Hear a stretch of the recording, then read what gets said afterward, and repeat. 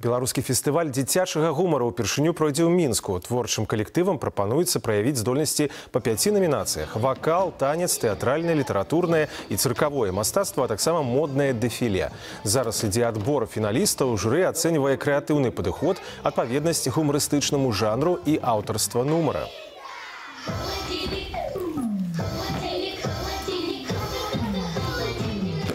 Вообще для себя сам сделал такое открытие. Я всю жизнь занимаюсь юмором, но взрослым.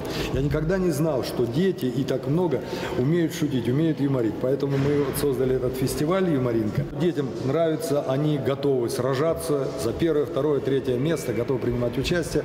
Ну, а нам, взрослым, это тоже только в радость. Самая основная задача – это, конечно же, найти талантливых ребят, которые могут себя проявить не только в профессионально-театральном, вокальном, эстрадном а, направлении, но и которые будут э, шутить и со сцены, э, надеюсь, что весь день будут а, сплошные лететь шутки и будет, конечно же, у всех хорошее настроение. Першы беларускі фестываль дзіцячага гумару пройдзе 10 красавіка ў тэатра юнага гледача. Уладальнікі гран-пры ў кожнай намінацыі атрымаюць права на здымку ў кіначасопісе.